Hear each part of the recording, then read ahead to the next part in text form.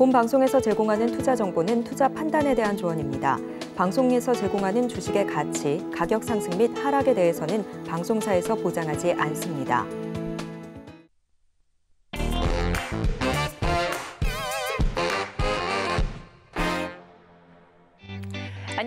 베스트 트레이딩맨 2부 주식반장 진행의 도지엔입니다. 오늘도 저희 반장님과 함께 알찬 강의 들어보고 종목 상담도 진행해 볼 텐데요. 저희 반장님 만나 뵙기 전에 오늘 시장에 대해서 자세히 짚고 넘어오도록 하겠습니다. 오늘장 브리핑 함께 보시죠.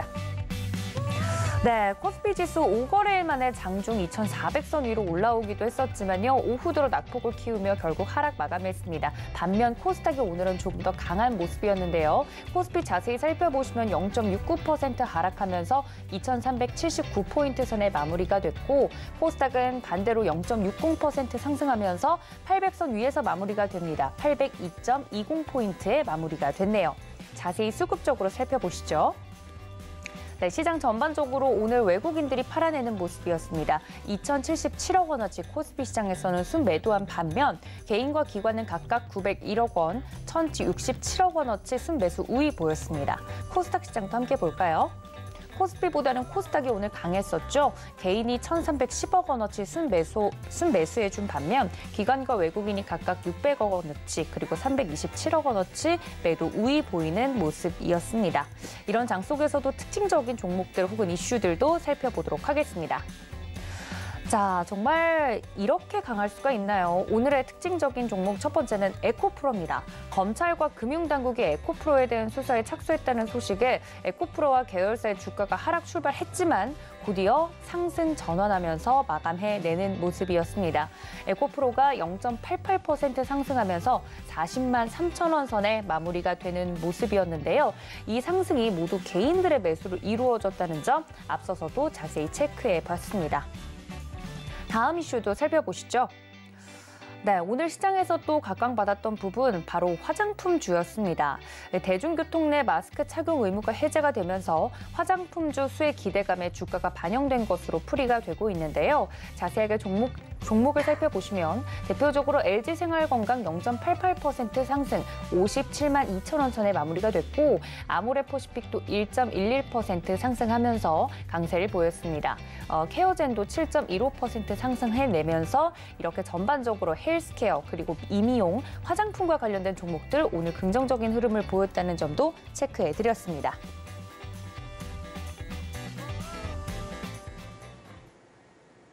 자, 이렇게 오늘 장 간단하게 짚고 넘어왔습니다. 오늘의 반장님 소개 바로 드릴 텐데요. 지난주 또 프로주식 리그 1승의 주인공이시죠. 통합 2승째입니다. 우리 인상현 반장님 모십니다. 반장님 어서 오세요. 예, 안녕하십니까. 네, 지난주 또 화려하게 1위를 예. 또한 번 하면서 마무리 짓지 않았습니까? 예, 로봇주의 상승이 사실 대단했는데 예. 오늘 장은 어떻게 보셨나요? 예, 자 오늘 장은 FMC 회의 어, 그런 부분 때문에 에, 하루 좀 약간 숨고르기 국면이 뭐 전개되고 있다 이렇게 좀 생각됩니다. 그래서 인플레이션이 이제 강세로 현재 움직여 줄 때는 아 0.25가 아니라 0.5가 되지 않겠느냐 아, 이렇게 걱정을 많이 했었습니다. 근데 시장이 이제 급변했죠. 이제 금융위기가 터지면서 아 0.25가 될 수도 있다.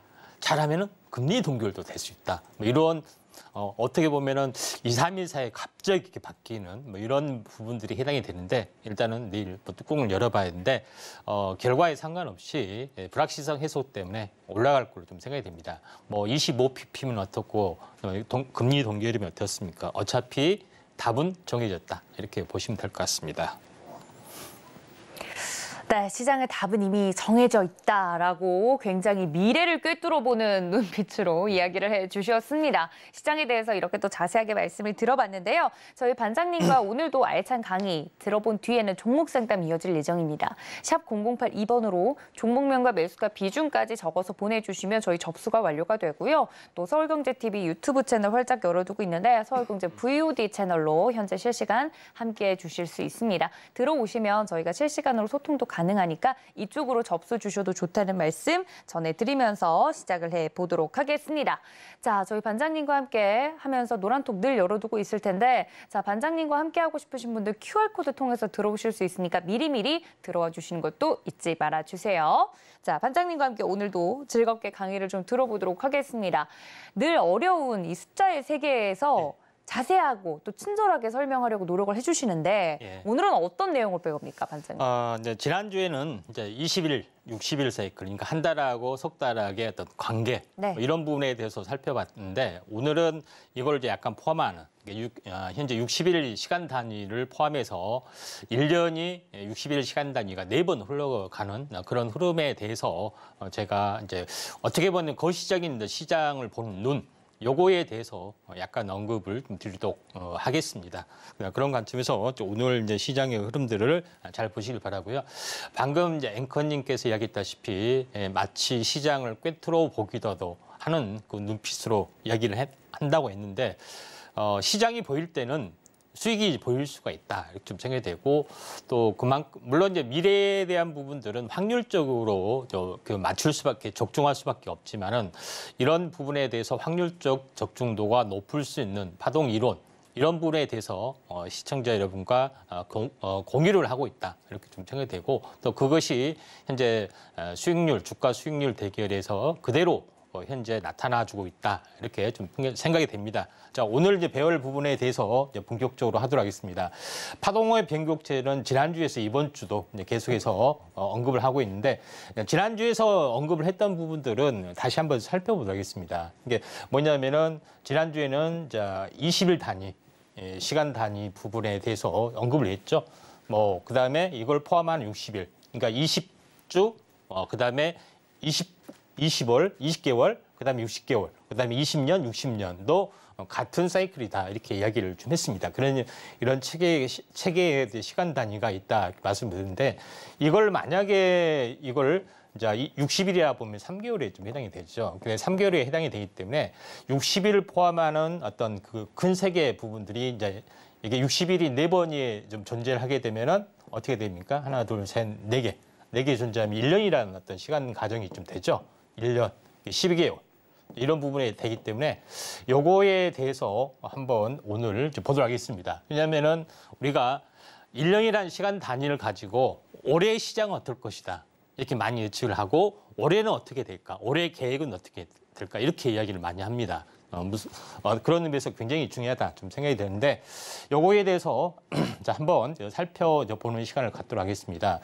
어, 먼저 이제 그 전에 제가 어, 그 시장의 큰 흐름에 대해서 이야기를 해보면은 제가 어, 전체적으로 보면은 이걸 큰 흐름은 20개월, 60, 아, 60개월이라고 하지만은 어, 전체적으로 보면은 20년, 60년의 어떤 개념이 될 수도 있는 거고요. 그 다음에 요거를 큰 사이클로 보면은 어, 현재 2000년, 6000년 이렇게 되- 될 수도 있다겠죠. 그러면 지금은 어, 현재 시장이 2000이라면은 100년 단위로 계속 20개가 들어있다 이렇게 보시면 돼요. 한 달이 20일이다 보면은. 근데 그러면은 100년마다 한 번씩 변하는 부분에 해당이 되는데 왜 제가 이 얘기를 하냐면은 4차 산업혁명에 대한 이해, 사이클, 흐름 요거에 대해서 한번 큰 시각으로 한번 보면은 이번에 물론 이제 4차 산업혁명 부분들이 2016년부터 했기 때문에 맨날 듣는 뭐 해년마다 듣는 레포터리기 때문에 너무 지겹다 하지만은 어, 이제 다른 시각으로 보시면은 또 새롭게 예, 보일 거로 좀 생각이 드는데 제가 왜 이걸 요, 이- 이야기를 하냐면은 어, 100년씩 한번 끊어 보면은 어떻게 되냐면은 1700, 1800 그 다음에 에, 그 현재 1800 그 다음에 이제 1900년, 2000년 이렇게 보면은 이걸 100년 20년에 한 번씩 이렇게 돌아가기 때문에 다섯 개를 이제 그거 보면은 어떤 것이 되냐면은 이제 이런 부분으로 보면은 어, 세계 1차 아, 그 현재 1차 산업혁명은 영국에서 나왔죠. 1780년. 그러니까 한 세기가 출발하기 20년 전 나서 그 세기를 주도를 좀 했던 어, 그런 부분에 좀 해당이 되죠. 근데 2차 산업혁명은 어디서 일어났냐? 미국에서 나왔죠. 어, 현재 어, 전기를 발명하면서 20년 전에 전기를 발명하면서 1880년 내외에서 일어났고 그 시대가 한 세기를 주도를 했다 하는 점이 굉장히 중요합니다. 그러면은 이런 논리라면 아, 100년마다 한 번씩 변하는구나. 그러면은 3차 산업혁명이 뭐 어, 3차 산업혁명이 2000년도에 일어나잖아요. 그러니까 그 전에 삼차 산업혁명이 20년 전에 일어나서 그거를 주도하기 때문에 지금은 삼차 산업혁명의 연장이라 볼 수가 있는데 왜 4차 산업혁명을 가느냐? 삼차 산업혁명이 계속해서 불- 주기적으로 불타오르는데 과거의 것하고 너무나도 다르기 때문에 요거를 어째 20년에 한 번씩 변하면 2020년이 되는 거죠. 어, 그래서 2020년이 되기 몇 년 전에 과거하고는 전혀 이제 다른 흐름, 질적으로 초고속의 어떤 기술 발전 이것이 있기 때문에 아, 4차 산업혁명 하지만은 고전적인 이론자들은 무슨 소리냐? 3차 산업혁명이 연장밖에 안 된다. 뭐 3-1이다. 뭐 3-2다. 이렇게밖에 안 이야기를 하지만은 요거에 대해서 이야기를 한- 하려고 합니다. 20년마다 한 번씩 변하는 어, 현재 2000년 어, 현재 2020년에 예, 어떤 그 몇 년 전에 2016년에 태동이 됐던 어, 4차 산업혁명의 어떤 흐름에 대해서 어, 이야기를 하려고 하는데 중요한 것은 자 그, 그러면은 이거 4차 산업혁명의 어떤 큰 흐름에서 우리나라 시장의 흐름들을 보시면은 좀 도움이 될 것 같습니다. 여기도 보시면은 과거에 10년 상승 그렇죠? 10년 조정 그다음에 10년 상승 그다음 10년 조정 하면은 여기서 날아가야 되는데 그렇죠? 10년, 10년, 10년 반복이기 때문에. 근데 왜 못 날아가고 계속 상승해 주려다가 무너지고 상승해 주려다 무너지고 이런 현상이 생겨나고 있습니다. 그렇죠? 이런 부분들이 좀 해당이 되는데 사이클로 보면은 이제 이런 부분이 되는 거죠. 그래 이런 부분들이 지금 이제 진행이 되고 있는데 어 현재 뭐 이런 흐름에서 보면은 어 현재 10년의 어떤 사이클의 어떤 흐름에서 보면은 어, 상승과 조정 다시 무너지고 2000년도에 다시 한번 상승한다 무너지고 하는 흐름들이 두 번이나 반복이 되고 있습니다. 물론 이거는 큰 충격이 왔기 때문에 예, 현재 못 가고 있는 거죠. 왜 3천, 4천이 가야 되는데 왜 이 모양이 이 꼴이냐? 또 주기상으로 가야 되는데 이런 부분에 대해서 약간 의아하게 생각할 수도 있다 이렇게 좀 생각이 되는데 이제 사건에 대해서 이야기를 좀 해야겠죠. 근데 자 보시면은 자 4차 혁명이 일어날 때가 2016년에 처음으로 화두가 되면서 일어났습니다. 근데 잘 가던 주가가 뭐 때문에 망가졌어요? 미중 무역 충돌, 트럼프 대통령의 어떤 무역 마찰, 아, 중국하고 뭐 현재 환율 전쟁 뭐 이렇게 해서 망가졌죠. 그 다음에 마지막에 뭐요 투매가 나왔던 뭐 코로나 팬데믹 때문에 이렇게 이렇게 망가졌습니다. 근데 여기서 다시 한번 예, 뭡니까 유동성 코로나 유동성이 와서 어마어마하게 상승을 해- 했습니다. 예, 그러죠. 여기까지는 조- 좋았습니다. 근데 여기서 무너지면서 여기까지 무너졌습니다. 미국 시장이나 다른 시장에 못지않게 크게 무너졌던데 예, 그 여파는 뭐냐면은 아시다시피 금리 인상, 러우 전쟁 이런 굵직굵직한 큰 사건 때문에 추세 이탈이 돼서 이렇게 망가졌습니다. 사실은 망가졌죠. 여기 온바닥까지 왔잖아요. 사실은.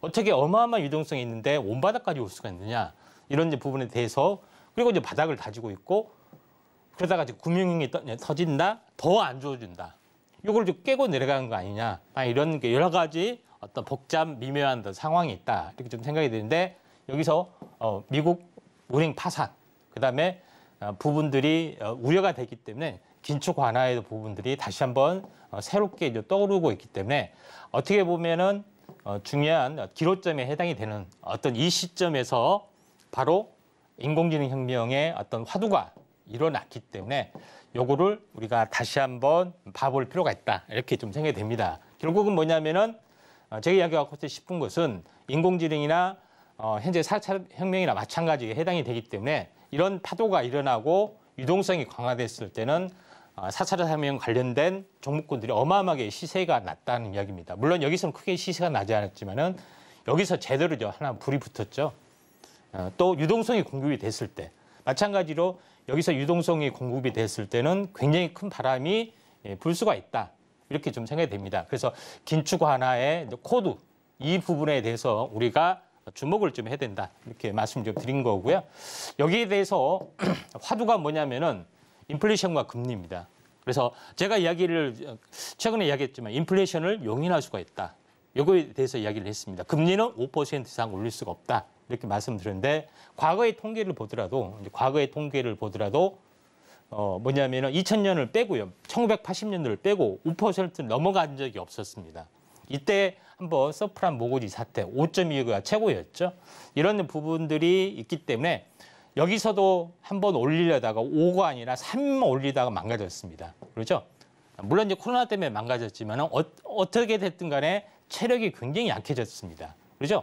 3밖에 못 올렸으니까. 근데 지금은 5를 올리고 있는데 버텨주고 있는 그런 상황인데 5 이상 넘어가기는 힘드는 어떤 그런 부분에 해당이 되는데 제가 왜 이야기를 하냐, 하냐면은 인플레이션의 지금의 어떤 그 지금 차트의 흐름입니다.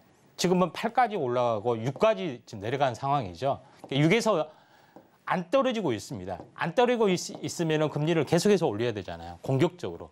근데 공격적으로 올릴 수밖에 없는 올리지 못하는 나름대로 속사정이 뭐 여러 가지가 있겠죠. 금융 시스템 문제나 뭐 이쪽의 움직임인데 가장 중요한 것은 뭐냐면은 미국 정부가 제일 먼저 빚이 제일 많아요.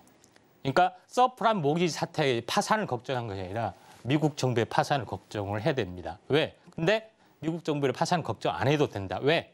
부채를 무한히 늘릴 수가 있기 때문에 이런 부분들이 해당이 되기 때문에 이런 것 때문에 어, 뭡니까? 어, 이런 것 때문에 상당히 이제 문제가 아, 될 수가 있지, 어, 있는 부분들이 있지만은 이거는 나중에 생각이 되고 일단 구조적으로 보면은 금리 인상을 올릴 수가 없다. 서프라이 아니라 미국 부채가 계속해서 증가하는 부분이기 때문에 약달러 어, 그다음에 이런 부분들이 예, 생겨날 확률이 많이 있기 때문에 구조적으로 되지는 않는다. 제일 중요한 것은 뭐냐면은 미국 유동성이 다시 한번 계속해서 증가를 하고 있다는 것입니다. 근데 인플레이션은 구조적으로 생길 수밖에 없습니다. 자, 여기를 보면 서브프라임 모기지 사태 때 어마어마하게 유동성을 공급했죠. 근데 전혀 유동성 변화가 없었습니다. 그러죠? 지금까지도. 근데 최근 2020년 현재 코로나 때문에 재무부에서 직접적으로 돈을 뿌렸잖아요. 그러죠? 민간을 이렇게 민간에게 뿌렸기 때문에 어마어마하게 유동성이 증가가 된 겁니다. 말도 안 되게 증가됐죠. 그러니까 어, 서브프라임 모기지 사태는 은행권에다 다 어, 올인을 하다시피 하는데 다 흡수를 했기 때문에 전혀 문제가 없었는데 여기서는 문제가 상당한 거죠. 그래서 인플레이션을 구조적으로 잡을 수가 없다고 이야기했는데 회수하는 척 합니다만은 유동성이죠. 다시 올라가고 있다는 것이 이제 통계적으로 나온다. 그래서 인플레이션 용인이 될 수밖에 없는 거죠. 지금 통계표로 보시면은 알겠지만은 2023년 어, 연초부터 현재 유동성이 다시 한번 공급이 되고 있기 때문에 이런 부분들이 다시 한번 어, 어떤 식으로든 간에 이제 증가가 좀 되고 있는 어, 그런 상황이다. 이렇게 보시면 됩니다. 그 다음에 제일 중요한 것은 어, 1년 사이클을 두고 올해는 어떻게 될까? 이런 부분들을 어떻게 판단이 되느냐? 참 궁금하시죠? 자, 어, 연초의 방향성이 중요한 방향성이 되는 해가 있습니다. 매년 그렇다는 것이 아니라 자, 그걸 제가 보여드릴게요. 그러면은 연초의 방향성이 맞으면은 그 해에는 하락이기 때문에 절반이나 3분의 2, 최대는 1년까지 하락합니다. 그는 역사적으로 증명이 되어 왔고, 자, 여기를 보시면 알겠지만은, 어, 섭, 여기 보시면은 IMF 사태 이후로 어마어마한 유동성이 왔죠. 쌍봉 고점에서 2000년 1월에 급락이 됐습니다. 정확하게 고점이 20개월이죠. 하락을 했습니다. 딱 1년 하락했어요. 1년.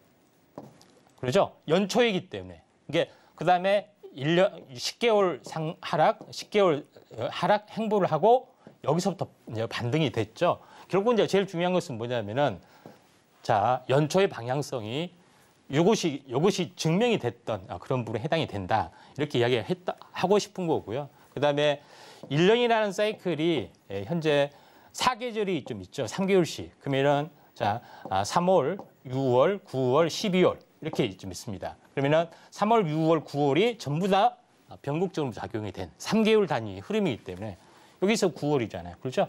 여기 보면은 3월 고점, 여기도 3월 저점. 여기 이렇게 형성이 된다. 요거를 제가 이야기를 하고 싶은 겁니다. 그러면은 1년이라는 사이클에서 최근에 했던 흐름들에서 한번 보시면은 여기서 보시면은 2018년에 자 1월에 하락을 했죠. 여기서 뭡니까? 1월에 하락을 했기 때문에 1년이 10개월 동안 하락을 했잖아요. 그러죠? 이런 부분에 해당이 되는데 어, 최근에는 고점이 아니지만 추세 이탈 가격에서 어, 급락이 나왔습니다. 결국은 뭐예요? 이렇게 하락을 좀 했다는 이야기입니다. 그런 부분들이 예, 굉장히 예, 중요한 흐름들을 우리가 키워드를 가지고 있다 이렇게 보시면 되고 그 다음에 제가 여기 있다시피 3월, 6월, 9월, 12월은 적게 3개월 단위로 움직여주기 때문에 그게 변곡점으로 향상이 된, 되죠.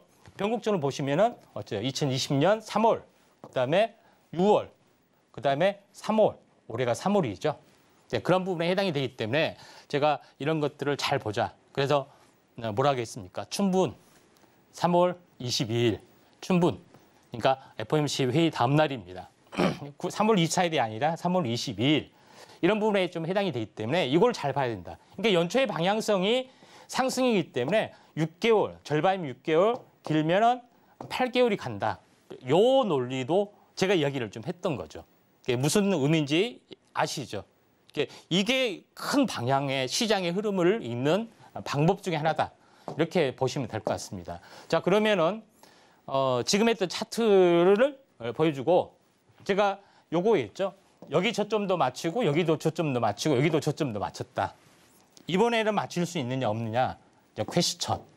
근데 맞출 수 있다. 자 보시면은 시차가 있지만 자 여기를 보시면 알겠지만은 저점과 추가 저점의 논리가 요걸 가지고 이야기를 했던 거죠. 그다음에 왜 며칠 사이를 이렇게 며칠 사이를 비웠네 그리고 나서 60일을 이야기했네 이렇게 언급을 하죠. 이렇게 어떻게 됐든 간에 60에 대한 시차가 있고 시차가 있습니다. 근데 여기서 어, 자, 당장 내일이 될 수 있고 1, 2주가 지나서 될 수도 있고 결국은 지나봐야 되지만은 결론적으로는 뭐냐면은 마지막에 예, 대세 상승으로 가기 위한 일련의 출발이 여기에 있고 탄생 파동이 만들어진 예, 부분들이 3개월 주기, 60일 안에 움직여 줄 확률이 많다. 이렇게 이야기를 한 겁니다. 이제 이런 관점에서 어 이제 보실 필요가 있다 좀 생각이 드는데 주기는 대신 짧아졌어요. 왜 짧아졌을까요? 첫 저점에서 60일이 세 번 이렇게 돌아가잖아요. 그렇죠? 그러니까 뭐예요? 세 번 돌아가기 때문에 이 주기가 있기 때문에 여기 주기에서 공회전을 많이 했잖아요. 중간에 공회전을. 그렇죠? 공회전, 공회전을 많이 했잖아요. 그러니까 여기는 60일보다 단축이 돼서 상승으로 열릴 확률이 많죠. 그게 전체 주기 사이클의 주기 분할의 관점 이, 런 부분으로 설명을 할 수가 있다. 최근에 차트 흐름을 보시면은 요거죠. 모든 것은 1년이 상승이면은 3개월이 탄생 파동으로 작용이 될 수 있다. 요겁니다. 요거. 자, 상승과 조정의 절반이죠. 물론 이게 행보 구간이 뭐 1주가 될 수 있고 2주가 될 수 있어요. 가, 지나봐야 알지만은 결론적으로는 터닝이 전후 사이클에서 움직여 주는 것이 나타날 수가 있다. 이게 이제 주도주 논리로 보시면은 어, 되는 되는 거 되는 겁니다. 뭐 그런 관점에서 어떤 종목은 60일선까지 빠지고 어떤 종목은 21선 올라서고 어떤 종목은 41선에 터닝을 해주고 그러니까 강세 종목은 21선을 계속해서 막, 맞고 날아가는 부분이죠. 근데 약간 약간 좀 중간 정도 힘이 강한 것은 41선에서 다 돌아섰고 그다음에 제일 늦은 것은 61선. 아직도 바닥이 바닥에서 헤매는 종목이 후발주란 이야기입니다. 그런 부분에 해당이 되기 때문에 로봇이나 이런 것들은 어쩌요? 신고가로 날아갔잖아요. 41선에서 찍고 신고가에서 왔다 갔다 하고 있잖아요. 그러죠? 이런 부분. 근데 나머지 후발주는 61선에서 전혀 움직임 없었습니다. 계속해서 흘러내렸어요. 이게 선도주와 후발주의 관계입니다. 이런 관점에서 어, 미리서 로봇이나 이런 것들은 미리서 출발을 하고 계속 가고 있, 신고가에서 조정과 조정, 돌파 안착을 하고 가고 있다는 것을 나타내는 거다. 심지어는 안 좋은 곳은 다시 온 바닥까지 온 종목이 수두룩하다. 그래서 후발주, 바닥 이런 것들을 하지 마라. 바닥 좋아하다가 인생 바닥이 됩니다. 왜? 바닥이 굉장히 크게 올라가면 상관이 없어요. 바닥에서 잡으면. 근데 대부분 이런 흐름이기 때문에 추세를 타고 가는 종목을 여러분들이 하셔야 된다는 이야기예요. 그래서 주도주, 주도주, 주도주 첫 번째부터 마지막까지 주도주라는 이야기입니다. 이런 부분에 해당이 되, 는 부분이기 때문에 이런 것들이 굉장히 중요하다. 그래서 이걸 전체적으로 요약하면은 어, 전체적으로 요약하면 어떠냐? 자, 여기를 보시면은 60 60일 사이클, 60일 사이클, 60일 사이클. 이게 네 개가 돌아가면은 어떻습니까? 240일. 20일에 12개월. 이렇게 해서 1년 사이클이 되기 때문에 1년의 시간 장세에서 어, 지금 이런 사이클들이 움직여주고 있기 때문에 이런 그 3개월 단위로 어떤 시, 시세와 패턴이 변하는 흐름들에 대해서 우리가 아, 알아야 되고 2023년 1월에 이것이 1년 사이클의 출발이고 이게 3개월 단위로 딱딱 끊어지기 때문에 시간 단위 패턴인데 이게 탄생 파동의 자리다. 여기서 주도주 업종들이 생겨난다. 이걸 보셔야 된다는 겁니다. 왜 1년 상승한 부분들에 대한 재료가 12월 달에 나왔죠. 자, 그런 부분이 이게 여기 1년 영향을 미칩니다. 그러니까 2, 3년 전에 전기차에 대한 큰 화두가 나왔는데 계속 1년 동안 계속 갔어요. 근데 일반적인 전문가들이 나와서 고점이다, 고점이다. 거 보세요. 며칠 빠지면 거 보세요. 그걸 1년 동안 노래를 불렀어요. 근데 1년 동안 계속 갔다는 이야기예요. 이게 이제 시사하는 바가 크다. 이렇게 예, 보시면 될, 됩니다. 지금도 마찬가지예요. 로봇 끝났다, 끝났다. 거 보세요. 로봇 끝났잖아요. 또 이제 또 급나가면 더 보세요. 그걸 몇 개월을 노래를 불러요. 왜? 본인의 종목은 가지 않기 때문에. 그게 참- 그러니까 바닥은 바닥인 거예요. 무슨 의미인지 아시죠? 2천, 3천 개 종목군 중에 대부분 90%가 바닥에서 움직이질 않아요. 거기서 답이 있는 겁니다. 바닥에서 움직이질 않아요. 네, 그런 부분에 해당이 되기 때문에 이런 것들을 찾아야 된다. 그래서 화두 부분들이 제가 왜 로봇에 대한 화두를 했냐? 이 부분들은 아, 인사이트인데 2022년 그 아, 2000년 초반이죠. 복제견의 어떤 상징적인 화두가 되면서 황우석 박사의 어떤 복제견의 화두가 되면서 어마어마하게 주기세 불협풍이 사실 불었었습니다. 근데 20년이 지난 뒤에 똑같이 어, 현대 정의상 의장이 요거를 들고 나왔습니다. 그래서 이제 컴백을 했죠. 물론 BTS를 따라한 어, 현재 어, 현재 로봇의 또 춤도 함께 이제 구사를 했지만은 대중화의 어떤 시점의 어떤 그 상징성이다 이렇게 보시면 돼요. 네, 이런 관점에서 로봇이 시장을 주도할 수 있는 강력한 도구라고 어, 이야기를 했고 제가 뭐냐면은 어, 현재 2022년 3월 2, 3월 달에 어, 빅사이클이라는 프로가 있는데 지금 2부 시간입니다. 똑같이 시간, 시간에 있는데 그때 첫 프로에서 첫 스타트로 뭘 얘기했냐? 아, 앞으로는 로봇의 시대입니다. AI의 시대입니다. 이야기했어요. 근데 그게 먹혔을까 안 먹혔을까요? 안 먹혔죠. 왜? 창이 안 좋은데 그러죠? 그런 부분들이 있었다. 그래서 제가 장세를 잘못 읽은 거죠. 그런 부분에서 대장주를 레인보우 로보티스하고 만지랩을 그때 잡았던 일화가 있다. 아, 그런 거에 대해서 제가 이야기를 하고 싶어서 말씀을 드렸던 겁니다. 근데 1년이 지난 시점, 지금 이 시점에서는 한번 보면은 어, 현재 어마어마하게 좀 차이가 났던 건데 결국은 어, 현재 그전 어, 전쪽 예고편을 하- 하는 것들이 어, 현재 첫 GPT가 12월, 그러니까 어, 1년, 1년의 새해가 되기 전야제 12월 달에 크게 생- 생겨났습니다. 이게 전조예요. 기미와 징조예요. 그렇죠? 이게 뭐예요? 챗 GPT가 생겨났죠. 챗 AI 열풍이 가장 빠르게 전, 전 세계를 열풍을 지배를 하고 있고 100만 명 달, 어, 달성하는 데 소요 시간 최단 기간. 그렇죠? 그다음에 월간 상자 수 1억 명에 대한 최단 기간. 이렇게 그 열풍이 있지만은 며칠 조정받으면 아 끝났다. 또 며칠 전에 끝났다. 이렇게 한 달 쉬면은 끝났다만 하지만은 그게 줄거리 사탕으로 계속해서 연결이 됐던 어떤 그런 부분의 흐름이 있기 때문에 우리가 이거를 잘 보자 이렇게 말씀을 드렸던 겁니다. 어, 그런 관점에서 우리가 이제 시장의 흐름들을 약간 그 보실 필요가 있는데 에, 마찬가지예요. 제 마인드랩을 뭐 가지도 않는 걸 왜 계속 한 달 동안 이야기를 해?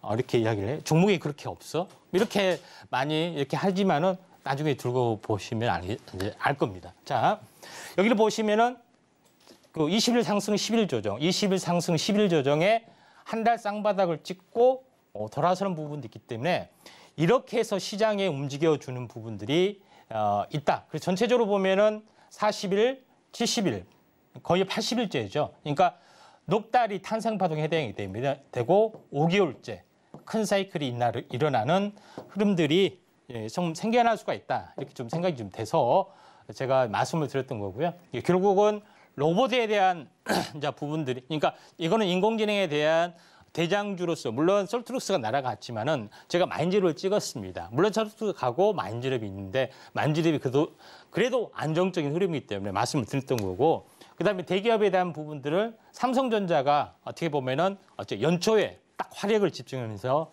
접근을 했죠. 딱 그 순간 아 연초의 방향성이 진짜 방향성이다. 삼성전자가 했- 했다는 것은 그 해의 전체의 시장의 화두다. 이렇게 보시면 돼요. 무슨 저 의미 아시, 아시 죠? 어, 그런 관점에서 지금 로봇 섹터에 대해서 제가 얘기를 이야기를 한 거죠. 16일 상승은 16일 조정. 20일 쌍바닥의 패턴이기 때문에 어째요? 강력하게 올라가고 있죠. 네, 그런 부분에 좀 해당이 되기 때문에 예, 앞으로도 계속해서 어, 갈 수 있는. 그래서 제가 이야기를 했잖아요. 레인보우 로보틱스.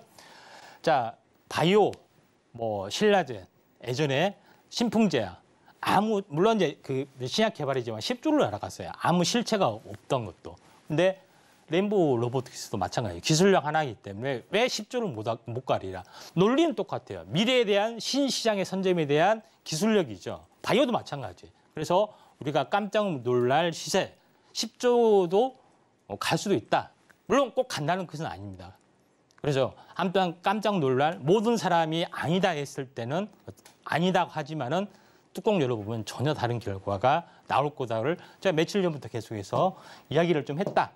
그런 사실이 굉장히 중요하다 이렇게 좀 생각이 되기 때문에 이 점 그 참고하시길 바랍니다. 네, 이렇게 저희 반장님과 함께 명 강의 함께하고 계십니다. 노란 톡방 늘 열어두고 있는데요. 지금 하단에 나가고 있는 QR코드 통해서 함께해 보실 수 있습니다. 지금 노란 톡방에서는 난리가 났다고 해요. 댓글이 달리면서 명강이라고 네. 네, 댓글이 올라오고 있대요. 여러분들도 노란 톡방 함께 들어와 주시면서 내용 체크해 보시면 좋을 것 같고요. 저희 강의가 끝난 뒤에는 종목 상담 이어질 예정입니다. 샵 0082번으로 종목명과 매수가 비중까지 적어서 보내주시면 접수가 완료가 되니까요. 여러분들 이 점까지 참고해 주시고요. 어, 또 실시간으로 또 함께하고 싶다 하시는 분들은 저희 서울경제TV 유튜브 채널 열어두고 있으니까 이쪽으로 또 많은 참여 부탁드리도록 하겠습니다. 자, 저희 반장님과 함께 이어서 강의 들어보도록 할 텐데 아, 중간에 예. 열심히 하고 계시는데 끊어서 예. 너무 죄송합니다. 맥이 끊긴 것 같아서 지금 제가 악플 달릴까 봐 빨리 예. 다시 재개해야 될 것 같아요. 아, 그렇습니까? 반장님. 네, 예, 예. 빨리 들어보도록 하죠. 예, 그렇습니다. 자, 그 시장이 보여야만이 수익이 보일 수가 있습니다. 제가 물론 자화자찬의 이야기지만은 어, 놀라운 이제 수익률을 예, 보여줬죠. 어, 현재 아침 방송 프로에서 제가 어, 1월 달부터 첫 예, 출연이 돼서 어, 어, 그 수익률 탑 10 요거를 지난주에 6위, 어, 6위부터 현재 10위까지 발, 이야기를 했고 그다음 오늘은 자 1위부터 5위까지 좀 해당이 됩니다. 이 수익률을 보시면 되지만은 자 폴라리스 150%, 뉴로메카 124%, 모아데이터 123%, 마인즈랩 100%, 나노신소재 94%. 마인즈랩 가지고 말이 많은데 저는 이미 바닥에서 100% 먹고 어째요? 먹고 조정 보이고 다시 2차 묻고 더블, 묻고 더블로 가. 요걸 외치고 있는, 있는 상황이죠. 이런 부분에 좀 대해서 어, 있는 상황이기 때문에 이 점 그 참고를 하시길 바라고 왜 제가 이런 것들을 발굴을 좀 했, 했느냐 하는 것들에 해, 해당이 되는 거죠. 나노신세 2차 전제 신기술, 그다음에 인공지능, 그다음에 빅데이터, 그렇죠? 로봇, 그다음에 폴라리스 오피스도 현재 인공지능 관련된 아, 그런 메타버스와 연결된 뭐 그런 요소가 되죠. 실제 회- 그 사업의 상용화를 가치를 달리고 있기 때문에 놀라운 수익률이 예, 벌어지고 있다 하는 것들이 굉장히 중요합니다. 근데 매수 시점들을 어, 현재 나노신 소재도 매수 시점 보면 1월 27일 날입니다. 1월 27일 날. 아, 그런 부분에 해당이 되기 때문에 이제 이래쯤이죠. 이런 부분에 해당이 되고 오늘 봐 다시 한번 가고 있죠. 결국 뭐냐 30일 가격에 대한 31선 조정을 보이고 어, 다시 한번 갈 수 있다. 이렇게 예, 보시면 됩니다. 놀라운 수익률 어, 94.8%. 그래서 여러분들 어, 노란통에 꼭 오셔야 될 이유가 아, 여기 있다. 이렇게 이제 보시면 될 것 같습니다. 두 번째 부분들은 뭐냐면은 3위 모아 데이터. 자, 여기서 보시면 알겠지만 123%입니다. 근데 퍼센트가 중요한 것이 아니라 자, 시세 원리로 흐름을 보시면은 자, 여기서 보시면은 자, 60일 사이클이죠. 60 마이너스 2. 탄생 파동을 보이고 상승 추세를 보이는데 20일마다 21선마다 찍고 올라가고 찍고 올라가고 찍고 올라가고 마디가 매매가 어째요? 정말 쉽고 단순하고 편하고 요거 요거를 말한 겁니다. 그렇죠? 네, 이런 부분에 해당이 되기 때문에 이런 흐름들이 예, 지금 진행이 되고 있다. 이렇게 보시면 됩니다. 뭐 그런 관점에서 어 3위는 마인즈랩이기 때문에 빼고 뉴르메카를 보겠습니다. 자, 뉴르메카는 어 제가 이제 작심하고 어 현재 프로리그에서 계속 출전을 시켰죠. 자, 마인지렉과 함께 자, 이를 보시면은 여, 기서 16일 상승, 16일 조정, 1대1 대칭이잖아요. 그렇죠? 한번 크게 상승하고 무너졌어요. 그렇죠? 20일 탄생 파동이 생겨났죠. 그래서 직전 고점 돌파 안착. 여기서 제가 직접적으로 수익률 게임에 어떻게 됐습니까? 출전을 했죠. 그렇죠? 그러니까 말로만 수익을 본 것이 아니라 직접 매수 사인을 넣었습니다. 또 노란톡에서도 이때 램볼로프트씨가 상한가를 갔을 때 2차 했을 때 자, 넘버 투가 뭐죠? 유리메카입니다. 어떻게 돼서 매수해야 되죠. 그렇게 해서 어, 그날 이날 많이 했죠. 그날 그 다음날 상한가 실현이 됐죠. 이런 부분이 좀 해당이 되기 때문에 놀라운 수익률 부분들이 나와줄 수밖에 없다. 이렇게 좀 생각이 되기 때문에 어떻게 됩니까? 노란 톡에 오셔가지고 어, 생생한 놀라운 기적의 현장 여러분들이 눈으로 확인하고 어, 확인해야겠죠. 내두 눈으로 확인해야겠다. 정말 저 전문가가 진짜로 추천했는지 이런 부분들이 생겨난다. 그리고 제가 파동에 대해서 이야기를 했어요. 자, 여러분들 자 20일 탄생 파동입니다. 모든 것은 20일 하나로 모든 것을 완벽하게 다 재단합니다. 그러니까 어째요? 너무 쉽고 간단하네 하면서 많이 했겠죠. 결국은 층은 자 파동을 한 것은 일정한 정해진다는 것이 아니라 일정한 주기와 규칙을 가지고 움직인다는 것이지 정해진다는 것이 아닙니다. 저항 조정 돌파 안착 요거잖아요. 요것만 지켜주면은 이거는 간다. 근데 갈 조건은 탄생 파동이다. 20일. 그죠? 모든 조건이 다 갖춰졌죠. 네, 이런 부분에 해당이 되기 때문에 여러분들이 제2의 누료 메카를 하기 위해서는 어떻게 되니까 지금 당장 아래 노란 턱에 오셔가지고 해야겠죠. 그다음에 제일 중요한 것은 1일이 대망 1일이 150 3.56%. 폴라리 오피스. 요걸 예, 제가 얘기를 했습니다. 자, 이를 보시면은 자, 탄생 파동. 3일 상승 이틀 조정이죠. 탄생 파동이 생겨났잖아요. 모든 급등 파동 무조건 시간의 규모가 적으나 크나 탄생 파동이라겠죠. 만약 음봉이면은 다 도망가죠. 여기서 사야 되는데. 그리고 나서 상승을 해주고 조정을 보였죠. 자, 20일 주기 탄생 파동이니까 다시 갔죠. 근데 오늘 음봉입니다. 그렇죠? 음봉의 중심을 만약 회복하면은 가는 거고 그렇죠. 그렇지 않으면은 손절해야 되는 거고. 그러니까 매매 원리는 쉽고 단순하고 어, 간단하다. 이렇게 보시면 될 것 같습니다. 그런 관점에서 보실 필요가 있는데 자 여기서 보시면은 프로리그 지난주에 1승 그것도 54% 대단한 수익률이죠. 이런 부분들이 앞으로도 계속 물론 미래라는 걸 모르죠. 뭐 이번 주 또 꼴찌로 추락할지도 모르지만은 아무튼 어, 보인다는 겁니다. 자신감 있다. 보인다. 뭐 이런 부분에 해당이 되죠. 자 이런 관점에서 어, 솔트룩스를 이야기했어요. 솔트룩스 하니까 사람들이 어 너무 오버하지 마라. 이게 급락 차트다. 누가 봐도.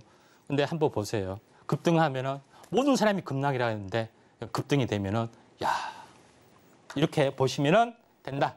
이렇게 보시면 되고 또 신기술주. 2차 전지는 이제는 양극재를 다 무시하고 신기술주를 해야 된다. 요거죠. 탄생파동. 여기서 이야기를 했습니다. 또 실제 이런 부분에 해당이 되기 때문에 어, 지난주에도 이야기 출전했던 종목이죠. 이런 부분들을 어, 잘 보시면 되고 그 외에 다른 삼성 관련 어, 미공개 로봇주, 그 다음에 중동 관련 미공개 어떤 그 투자 종목 현재 부분들이 노란 톡방에서 대공개를 합니다. 공개 시연을 하기 때문에 여러분들 오셔가지고 수익률의 신세계 정말 예, 경험을 하실 필요가 있다. 이렇게 좀 생각이 됩니다. 여기까지 오늘의 강의를 마치도록 하겠습니다. 네, 저희 임상현 반장님과 함께 강의 들어봤습니다. 여러분들 노란톡 왜 들어오셔야 되는지 아시겠죠? 아직 가지 않은 삼성 어, 관련 미공개 로봇 관련주 그리고 이 중동 수혜주 또 종목을 알려주신다고 하니까 노란톡방 미리 들어오셔야 되겠습니다. 하단에 나가고 있는 QR코드 통해서 함께 보실 수 있는데요. 어떻게 하면 더 함께 해 볼 수 있는지 자세하게 큰 화면으로 정리하고 넘어오겠습니다. 함께 만나 보시죠.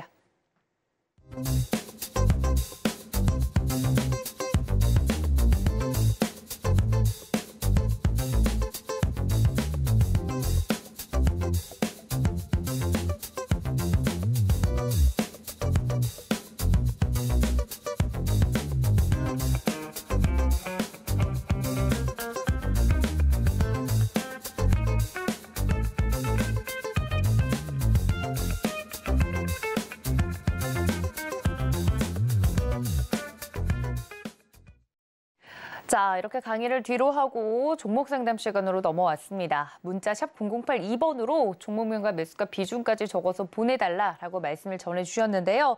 많은 분들이 아, 우리 임상현 반장님께서 말씀해 주실 종목으로 갈아타고 싶은데 이 종목 때문에 지금 못하고 있습니다라고 보내주신 종목들이 많습니다. 첫 번째 문자 상담 바로 진행을 해보도록 할게요. 뒷자리 5326님께서 보내주셨는데 코스메카 코리아 가지고 있습니다. 어, 1,500원에 20% 들고 있어요. 라고 보내주셨어요. 연말 리오프닝 기대감 클 때 들어갔다가 손실 중입니다. 화장품 중 이제 다시 날아올, 날아오를 수 있을까요? 오늘부터 마스크도 벗었는데 라고 보내주셨어요. 말씀해 주셨던 것처럼 또 앞에서 짚었던 것처럼 화장품 관련주 오랜만에 움직였죠. 저희가 마스크 벗는다고 하니까. 근데 지금 너무 길게 물려 계셔가지고 빨리 탈출하고 싶으신 것 같아요. 네. 탈출 기회 줄까요, 반장님? 예, 예, 줄 것 같기도 하고요. 오, 네. 어, 자, 보도록 하겠습니다. 네. 모든 시세는 어, 100%라는 가격의 층 아래서 갇힙니다. 일단은 그리고 목표가는 항시 2단으로 완성이 됩니다. 이게 대명제입니다. 자, 여기서 보면 6,300원이잖아요. 그렇죠? 100%가 되면 어떻게 됐습니까? 12,600원이죠. 12,600원이 되기 얼마 전에 에, 좀 빠졌죠. 100%는 안 되지, 되지만은 여기까지 갔습니다. 100%에서 살짝 구분음세에서 저항을 보였습니다. 근데 이게 2단으로 갔을까요? 한번 볼까요? 자, 여기서 보시면은 상승이죠. 일단 상승 조정이고 이 가격의 층에 종수배만큼 올라갔습니다. 목표가 구하는 공식 간단하죠. 그리고 고점을 쳤고 조정을 보이는데 가격 조정, 기간 조정이 왔는데 이게 진짜 진바, 진짜 바닥일까? 자, 이게 보시면 저점과 추가 저점. 제가 겨울용 패턴 하겠죠. 요 요거 요거 요것이 완성이 됐기 때문에 요거는 진바닥이다. 이렇게 어, 그다음에 단기 조정이기 때문에 약간 숨구르기 국면이 있다. 일단 할지라도 한 번은 올라갈 더 2단으로 올라갈 수가 있다. 좀 생각되기 때문에 제가 생각했을 때는 일단은 만 원 정도까지는 올라갈 수가 있기 때문에 만 원에서 마디매매 권장을 좀 해드립니다. 네, 그래도 다행히 기회를 주실 것 같네요. 네, 자세하게 이야기, 이야기를 좀 해드렸습니다. 화장품 관련주 오늘 또 특징적인 종목으로도 올라왔었는데 이 점까지 참고해 주시면 좋을 것 같습니다. 자, 다음 상담 가보도록 하죠. 문자 상담인데요. 3344님께서 보내주셨어요. 이수화학 가지고 있습니다. 26,000원에 15% 들고 있습니다. 보내주셨는데 물리는 거 아닌지 고민하다가 조금 사봤는데요. 음, 다행히 급등세에 같이 올라탈 수 있었습니다. 근데 최근 들어 완연한 조정세라 어떻게 하면 좋을까요? 라고 보내주셨어요. 26,000원이면 수익을 많이 보고 계시긴 한 것 같아요. 근데 이제 조정 구간에 들어간 것 같아서 이 기간을 또 견디기 어려운데 어떻게 할까요? 보내주셨어요. 이 예. 수학 어떻게 보십니까? 예. 자, 모든 파동은 20일 탄생 파동. 20일 탄생. 요거 하나로 다 끝납니다. 네. 자, 여기로 보시면은 상승이죠. 상승과 조정하고 2차 상승이 여기서 추세 이탈이 될 수도 있어요. 힘 약한 거는 20일 주기선 또 20일 주기로 간다. 그 법칙 하나 하시면 됩니다. 자, 여기서 보시면은 자, 이 공식대로 한번 볼까요? 한 번 상승, 2단 상승이 됐죠. 2단 상승에다 1단 조정이 한 번 됐고 그다음에 이중 바닥까지 됐죠. 근데 바로 날아가야 되는데 날아가지는 힘들 수가 있어요. 왜? 20일 주기가 안 찼기 때문에. 그래서 횡보 등락을 보이다가 여기서 다시 한번 이렇게 올라갈 수가 있다. 이렇게 좀 생각이 좀 되죠. 그런 관점에서 한 일주일 정도 기다리시면은 올라갈 확률이 많다. 이렇게 좀 생각이 좀 되고요. 자, 그런 관점에서 약간 보셔야 되는데 여기 출발 저- 저점이 약 2만 원 정도 됩니다. 그렇죠? 예, 뭐라고요? 100%는 선행적으로 주어지는 어째요? 어, 윤회 수레바퀴 같은 한계입니다. 4만 원이 한계죠. 4만 원 한계이기 때문에 정확하게 여기서 어쨌습니까? 얻어 맞았죠. 근데 바로 두 번에 뚫느냐, 세 번에 뚫느냐 남아 있는데 한 번, 두 번 뚫었다가 조정 파인 다음에 다시 한번 이렇게 뚫을 확률이 상당히 많이 있다. 이렇게 예, 보시면 되기 때문에 4만 원 근처 3만 9천에서 마디매매 조만간 한번 저 실현했다가 다시 저점 잡아보시면 될 것 같습니다. 네, 이수화학도 자세하게 이야기 들어봐 주셨습니다. 자, 다음 하나 종목 더 볼 수 있을 것 같아요. 문자 종목으로 넘어가 보도록 하죠. 라온피플 가지고 있습니다. 라고 보내주셨는데요. 8,510원에 10% 들고 있어요. 라고 문자로 보내주셨어요. 칠하나 사모님께서 보내주셨는데 그냥 간단하게 물어보시네요. 손절할까요? 라고 보내주셨어요. 네, 인공지능 영상 관련된 뭐 그런 네. 요소가 있기 때문에 요거는 그대로 좀 가지고 계신 게 좀 좋을 어, 게 홀딩. 됩니다. 네. 왜냐면은 여기서 보시면 알겠지만은 60일선까지 안 빠졌잖아요. 그렇죠? 중간 41선에 돌아섰고 40주기입니다. 그렇죠? 그리고 나서 저점 다시 한번 저점이 높아지는 뭐예요? 20일 주기 쌍바닥입니다. 다시 한번 올라타려고 하기 때문에 어, 이 상, 이 부분들은 다시 한번 갔다가 무너질 수가 있기 때문에 이 상단인 만 원까지는 현재 올라갈 수가 있다. 만 원에서 좀 더 올라갈 수도 있고요. 아무튼 만 원의 에, 마디매매 에, 관점 현재 제시를 합니다. 네, 이렇게 종목 상담 진행을 해봤는데요. 하나만 더 보도록 하죠. 시간이 남은 만큼. 자, 마지막 종목이 될 것 같습니다만 네이버 들고 있습니다. 22만 5천 원에 5% 들고 있습니다 라고 보내주셨어요. 네이버 들고 계시다고 수익 실현이 될 수 있을지 좀 부탁드릴게요 라고 보내주셨어요. 뭐 네이버랑 카카오는 사실 많은 투자자분들이 또 갖고 계시는 종목이기도 하고요. 늘상 이제 올라오는 질문 중에 하나인데 네이버를 특히나 또 갖고 계시고 22만 5천 원 선에 지금 현재 들고 계시다고 합니다. 오늘은 그래도 상승이 좀 나와주는 모습이었는데 네이버 어떻게 보세요, 반장님? 예. 어, 네이버 그 한번 60 사이클 주기로 한번 보도록 하겠습니다. 네. 자, 여기를 보시면은 음, 어, 네이버 부분들이 지금 현재 눌림목 저점에서 보면은 아, 지금은 약 52일이죠. 첫 번째 저점에서 보면은 아, 현재 48일. 그러니까 거의 50일 주기로 약간 움직여주는 흐름들이 예, 될 수가 있다. 그러니까 이거는 뭐냐면은 100일 단위입니다. 100일 단위. 이런 부분에 해당이 되는데 자, 주가가 자 20일 보세요. 자, 어, 60일이 뭐예요? 61선이 자, 이렇게 돼 있죠. 그다음 21선이 어떻게 되느냐? 그러니까 20일과 60일의 사이클의 관계를 보시면 돼요. 골든 크로스가 한 번 났죠. 그러죠? 그다음에 어떻게 됐어요? 지지 골드가 한 번 났죠. 지선. 그러죠? 여기서 올라섰죠. 그다음에 어떻게 됐습니까? 상승한 다음에 어떻게 됐습니까? 여기서 지지 골드가 한 번 나타났죠. 같은 현상이 같은 시간에 반복이 되기 때문에 어떻게 돼요? 이 흐름이 여기에 반복이 될 수가 있기 때문에 이 저점에서 올라온 진폭이 여기서 반복이 될 수 있기 때문에 아, 24만 원 이상 이 돌파되는 플러스 알파 시점에서 어, 현재 매도 시점을 잡을 수 있다. 그래서 최소한 21선에 20만 원에서 어, 따블 50% 되면 3, 30만 원에 해당이 되죠. 30만 원에 약간 못 되는 26만 원에서 30만 원 사이 그 언저리에서 어, 매도 시점이 2, 3개월 내에 나올 수가 있다. 이렇게 예, 보시면 됩니다. 그래서 방금 이야기했던 것은 뭐냐면은 22평선의 흐름과 추세를 보고 주기를 보고 찾아내는 겁니다. 자, 이런 관점에서 보시기 바랍니다. 네, 네이버까지 종목 상담 들어봤습니다. 자, 그렇다면 이렇게 종목 상담은 마무리하도록 하고요. 저희 반장님과 함께 내일장 전략도 좀 여쭤보도록 하겠습니다. 이번 주 FOMC 회의라는 큰 또 산을 남겨두고 있지 않습니까?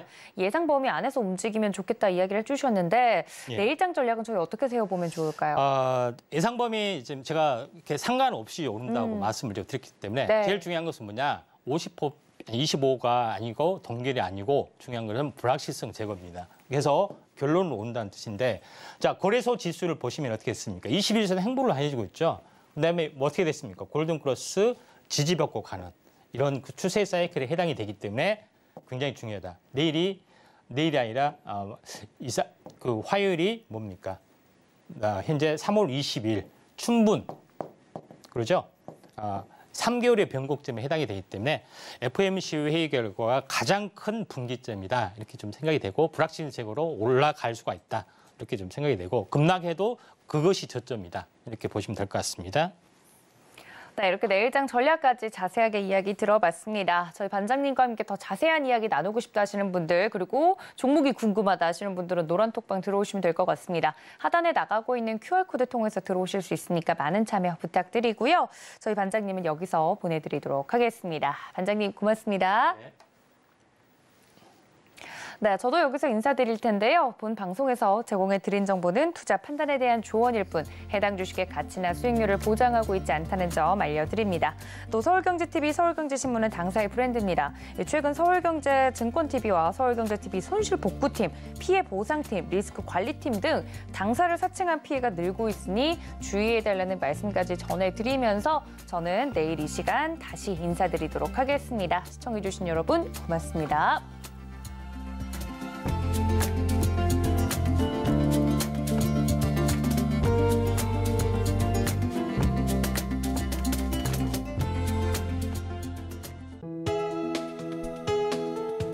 본 방송에서 제공하는 투자 정보는 투자 판단에 대한 조언입니다. 방송에서 제공하는 주식의 가치, 가격 상승 및 하락에 대해서는 방송사에서 보장하지 않습니다.